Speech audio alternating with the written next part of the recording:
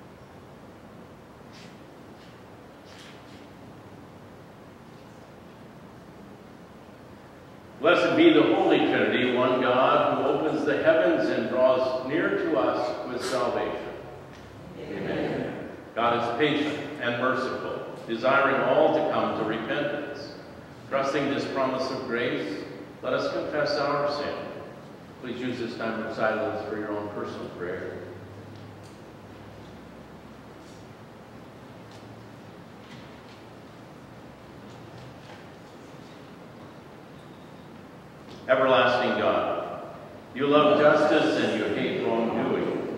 We confess the fear, greed, and self-centeredness that make us reluctant to work against oppression. We are complicit in systems of exploitation. We choose comfort over courage. We are careless with creation's bounty. Look upon us with mercy. Turn our hearts again to you. Make us glad to do your will and to walk in your ways sake of our waiting world. Amen. Hear these words of assurance. God clothes you with the garments of salvation and covers you with the robes of righteousness. In the tender compassion of Jesus Christ, your sins are forgiven. God's covenant is eternal, and God's blessing rests upon us all. Amen. We join in singing Prepare the Royal Highway.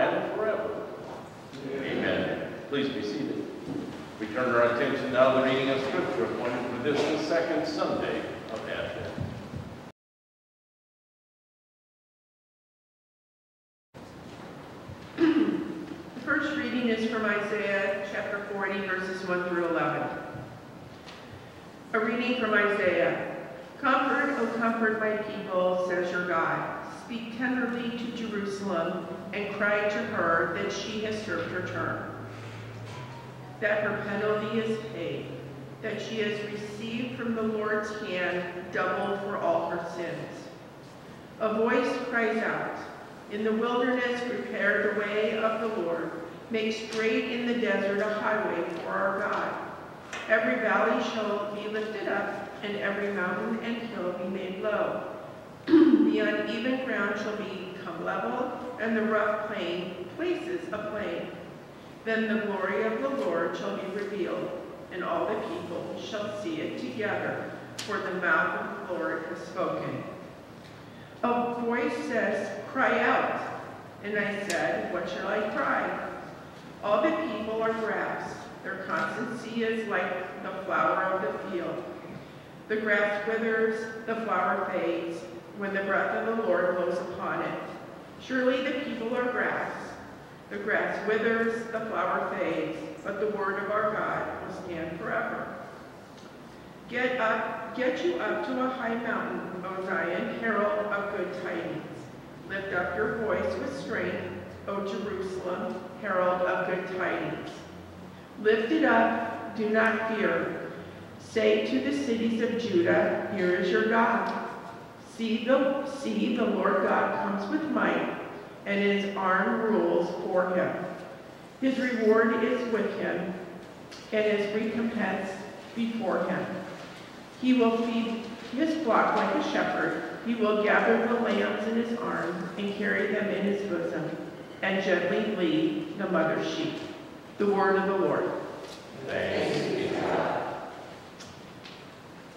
Our psalm this day is a portion of Psalm 85. Diane will play through the antiphon verse. We'll join in singing it after that and then speaking the song.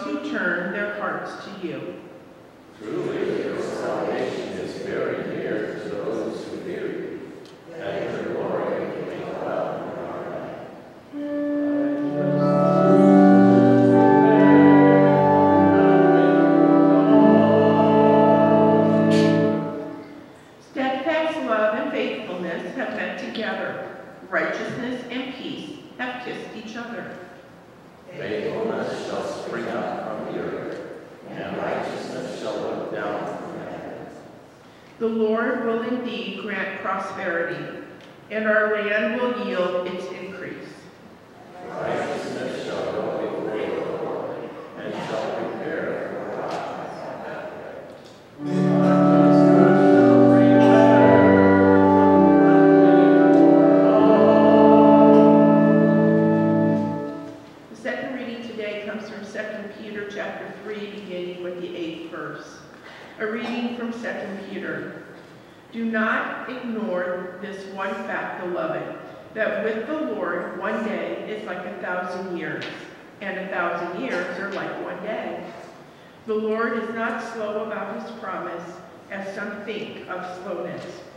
Patient with you, not wanting any to perish, but all to come to repentance. But the day of the Lord will come like a thief, and then the heavens will pass away with a loud noise, and the elements will be dissolved with fire, and the earth and everything that is done on it will be disclosed. Since all these things are to be dissolved in this way, what sort of persons ought you to be in leading lives of holiness and godliness, waiting for and hastening the coming of the day of God, because of which the heavens will be set ablaze and dissolved, and the elements will melt with fire? But in accordance with his promise, we wait for new heavens and a new earth, where righteousness is at home. Therefore, beloved, while you are waiting for these things, strive to be found by him at peace, without spot or blemish, and regard the patience of our Lord as salvation. The word of the Lord. Thanks be to God.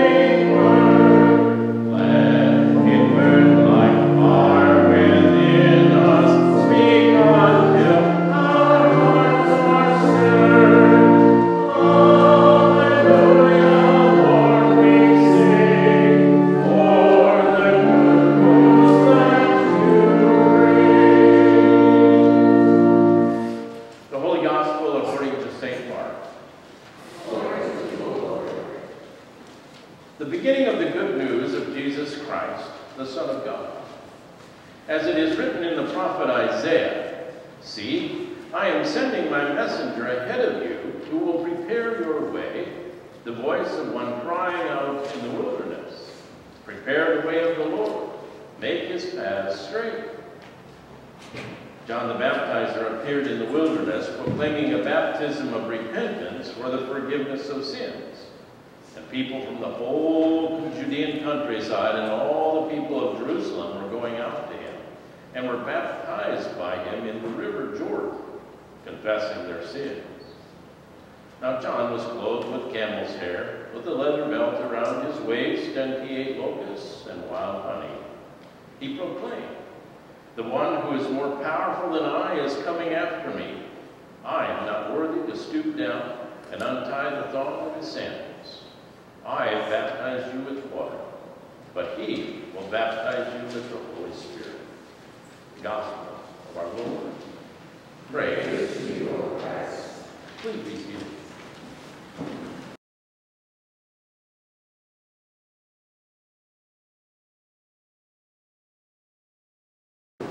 Some thoughts as we consider the words from that first lesson in Isaiah 40.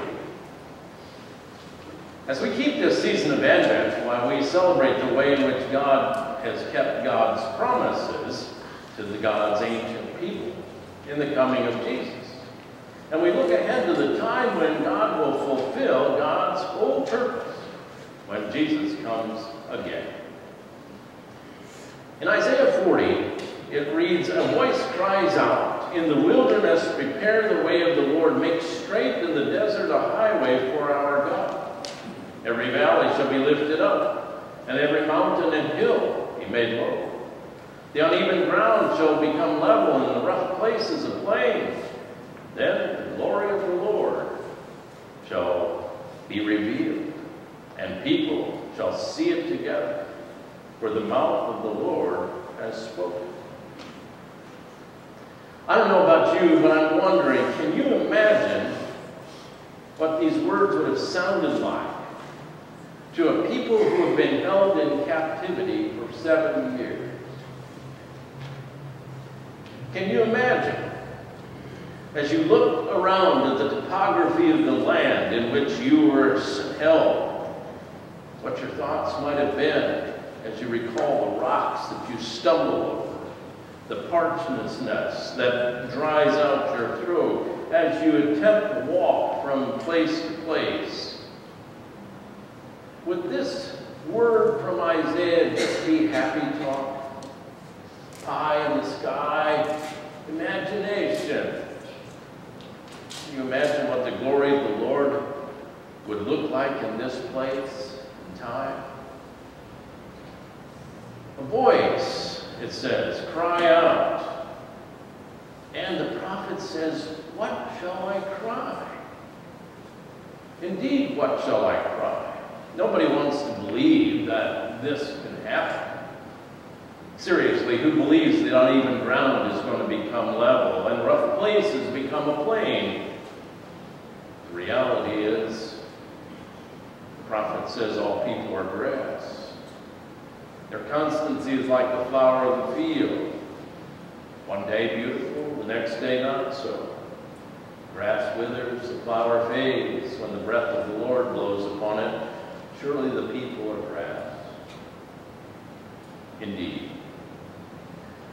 But the prophet says the word of our God will stand forever. That, that would be something we could sing about. What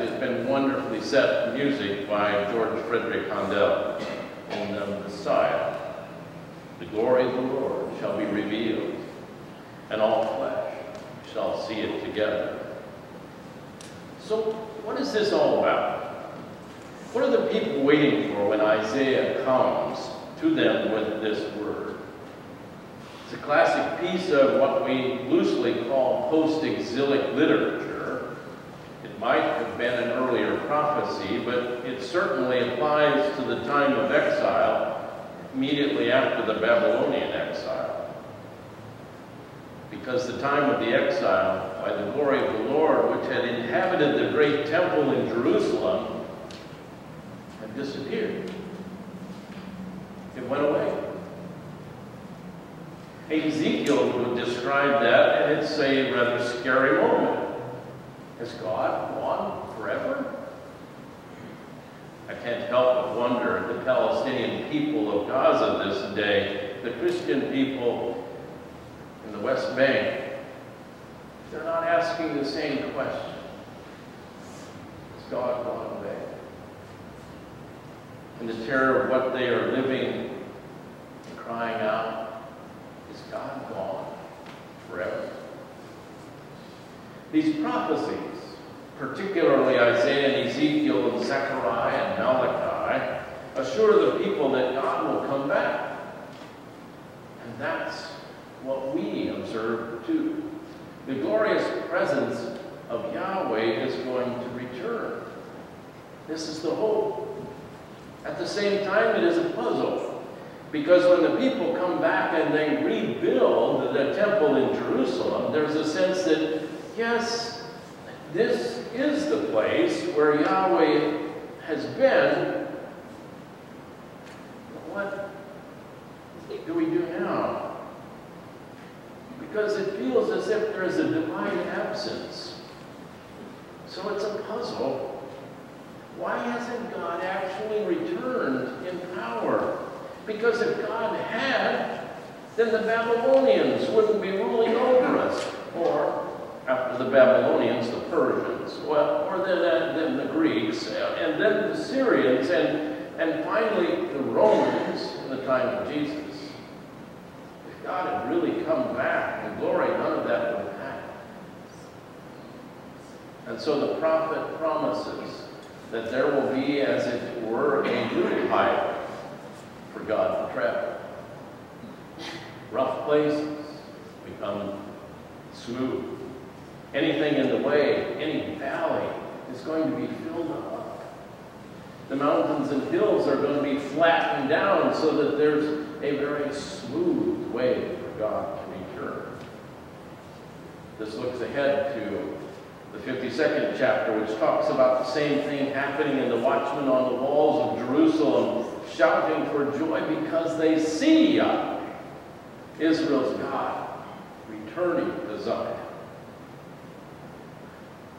So when we shift over to the New Testament and we find John the Baptist describing himself as this voice crying in the wilderness, then we should expect, if we know Isaiah, that what happens next is the arrival of God himself.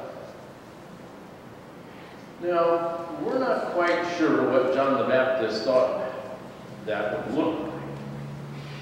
But John points to the one who is coming after him, Jesus, and says in the next passage after this, Behold the Lamb of God who takes away the sins of the world.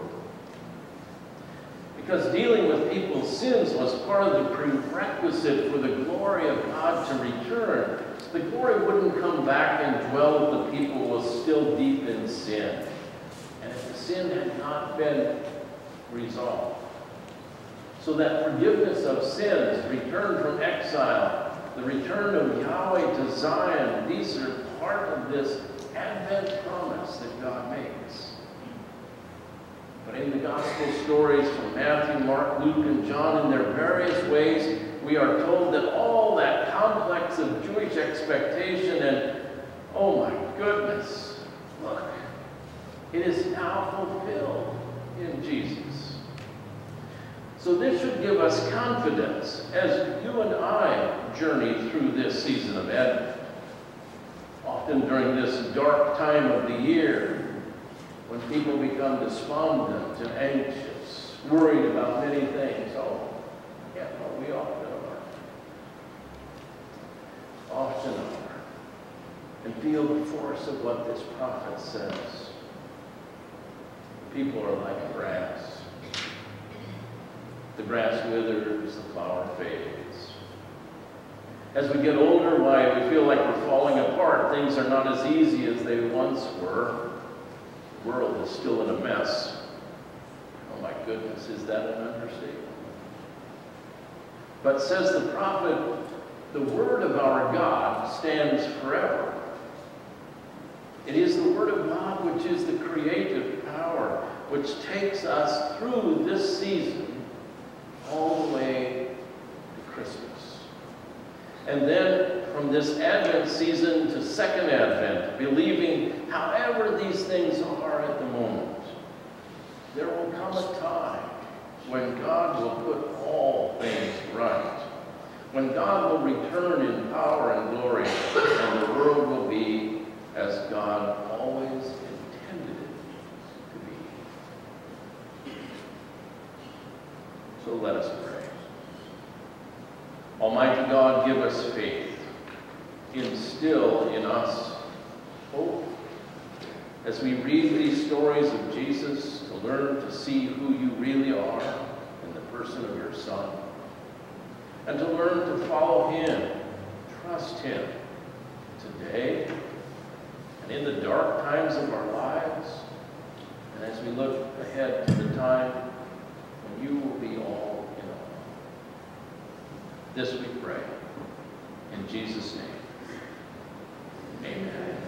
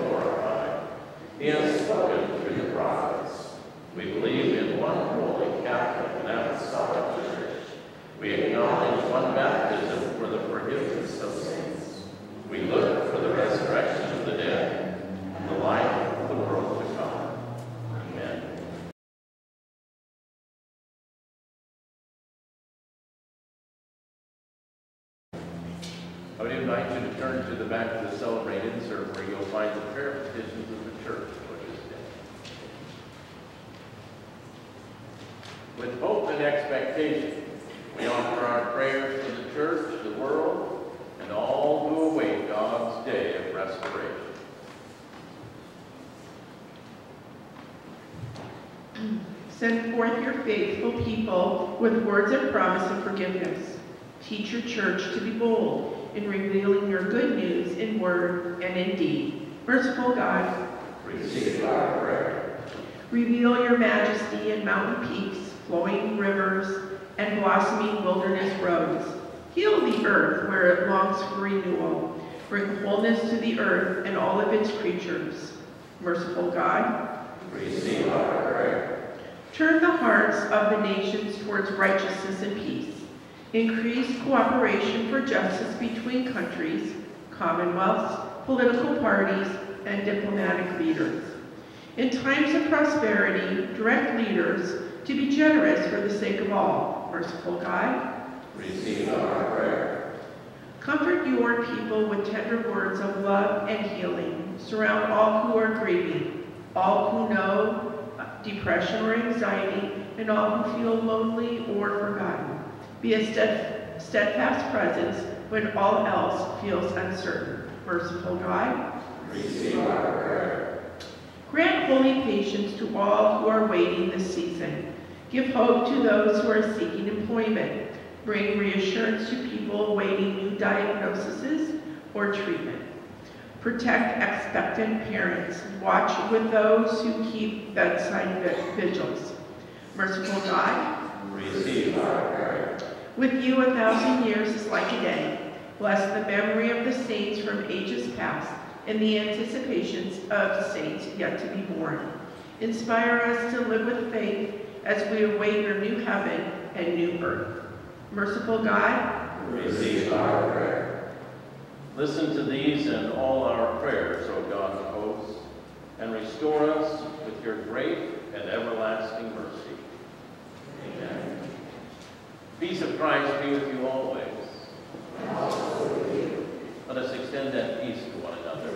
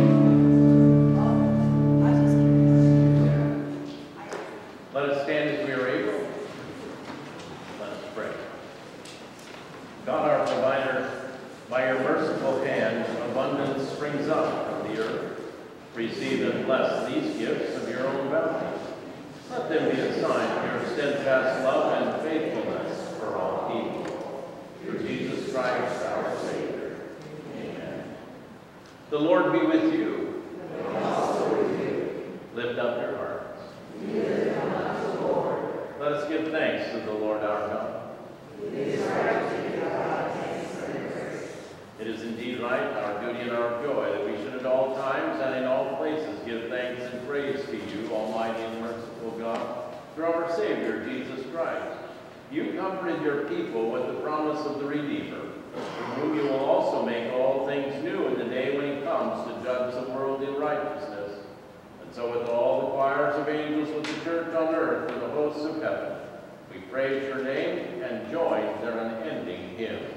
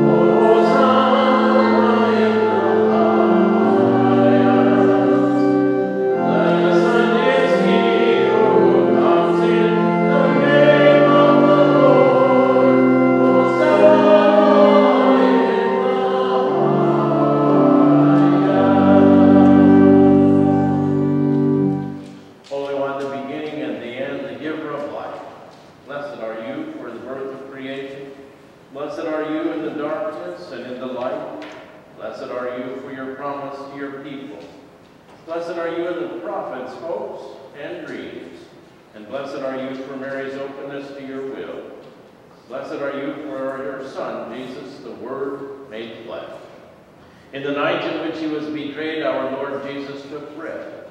He gave thanks. He broke it and gave it to his disciples, saying, Take and eat. This is my body given for you. Do this in remembrance of me. Again, after supper, he took the cup. He gave thanks. He gave it for all to drink, saying, This cup is the new covenant in my blood, shed for you and for all people for the forgiveness of sin. Do this in remembrance of me. So with this bread and cup, we remember your word dwelling among us, full of grace and truth. We remember our new birth in his death and resurrection, and we look with hope for his coming. Holy God, we long for your spirit. Come among us. Bless this meal. May your word take flesh in us, awaken your people, and fill us with your light, bringing the gift of peace on earth. All praise and glory are yours, Holy One of Israel, Word of God incarnate, power of the Most High, now and forever. Amen. Jesus taught us to pray. Our Father, who art in heaven, hallowed be thy name.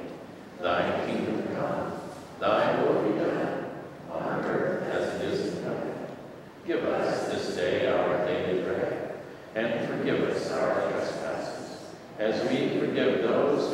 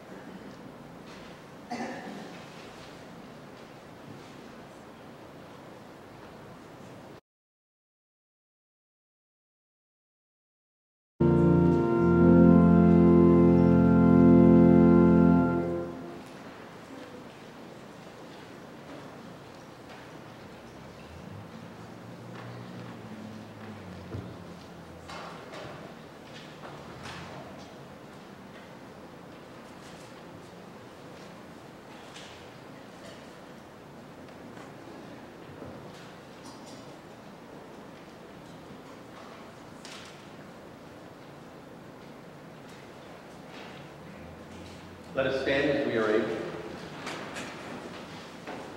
Let us pray. Gracious God, in bread and cup, you have revealed your glory for all people to see together. Nourished by this meal, send us out to proclaim your good news of liberation and release brought to birth in Jesus Christ our Savior. Amen. The God of peace bless you. The love of Christ sustain you in hope. And the anointing of the Spirit remain upon you, now and forever. Amen. Our closing song is On Jordan's Bank,